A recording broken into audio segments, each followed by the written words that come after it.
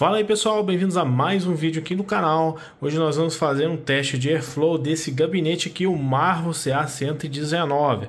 É um gabinete que tem a frente praticamente toda fechada, só tem umas arestas laterais aqui que entram ar por aqui. Eu coloquei três fãs aqui na parte da frente, ó, puxando o ar de fora para dentro. Elas estão viradas pro lado de dentro, tá? Puxando o ar da frente para dentro do gabinete. E coloquei também uma fã aqui da parte de trás que faz a exaustão, ela tira ar quente dentro do gabinete e joga para fora. Eu vou estressar a placa de vídeo o processador ali no que der, né, usando programas simples, aí você pode fazer o teste aí no seu computador e na sua casa também com esses programas que eu vou mostrar aqui.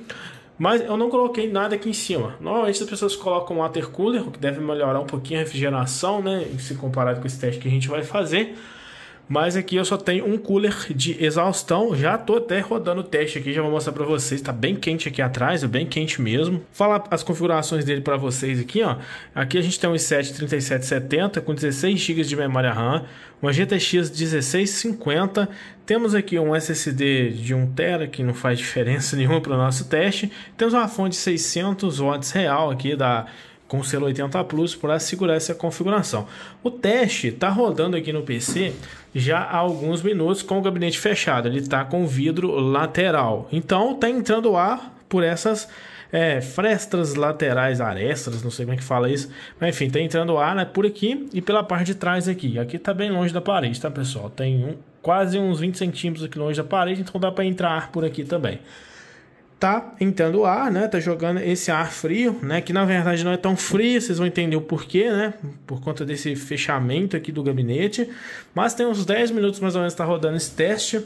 E vocês podem ver aqui, eu tô com o gerenciador de tarefas aberto. A CPU está em 100% e a GPU está em 98, 96, 97%, praticamente 100% ali.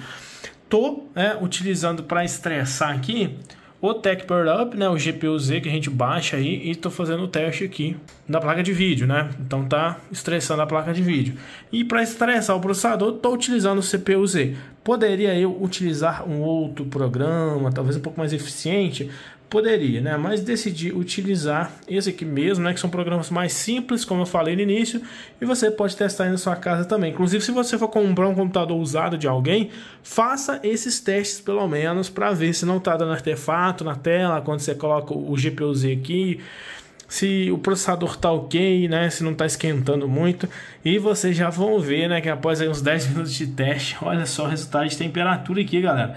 95 graus no processador, né? Então, se tá muito, muito quente. Porém, placa de vídeo nem tanto. A GPU tá 67 graus e o hotspot da, da placa de vídeo tá 84 graus. Eu creio que se a gente deixar aqui mais uns 10 minutos, beirando uns 20 minutos, talvez vá para os 98 graus aqui, mais ou menos. Talvez até um pouquinho mais. Mas qual que vai ser o nosso próximo teste? Eu simplesmente vou dar uma meio solução para seguir. A gente resolver isso aqui parcialmente. Vou só tirar a tampa lateral Vou esperar mais uns 10 minutos com a tampa lateral retirada, né? Vou deixar esse teste rolando aqui com a tampa lateral retirada e vamos ver se vai baixar essa temperatura, se vai fazer alguma diferença. Nesse momento, né, já subiu, já bateu os 96 graus, e eu acho que esse negócio aqui, se pá, deixar uma meia hora aí, uns 40 minutos, esse negócio aqui deve bater uns 100 graus. Nossa, 97, velho, 97. E eu acredito que seja porque não está entrando ar frio ali, na verdade, né? Então tá meio que circulando um ar quente aqui dentro, que está fazendo os componentes esquentarem ainda mais. Mas vou tirar a tampa aqui para a gente ver como que fica.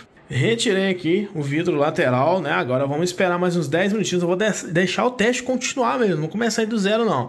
Vou deixar ele continuando ali pra gente ver se vai dar alguma diferença. Afinal de contas, agora, né, tá entrando um ar mais frio aqui é, de fora aqui para dentro do gabinete. Pelo menos ali no, no processador, né? Tá puxando um ar mais frio de fora aqui. Então vamos esperar uns 10 minutos e já volto com vocês após 10 minutos rodando com a tampa lateral retirada. Pronto, pessoal, passou aqui uns 10 minutinhos e como vocês podem ver agora, temperatura do processador 81, 82 graus mais ou menos, ó, 100% de uso, GPU 100%. A GPU, como vocês podem ver, está 62 graus né, no GPU e 80 no hotspot. Então vocês viram que dá uma diferença boa aí, deu entre 10 e 12 graus de diferença mais ou menos, o que é bem considerável. Então, no caso de vocês tiverem um gabinete com airflow ruim, assim como esse, deixa a tampa lateral aberta que você vai poder utilizar o computador mais tranquilamente, é, um pouquinho mais frio, né? O ideal mesmo é você ter um gabinete com a frente aberta, né, para você poder ficar mais tranquilo nesse sentido.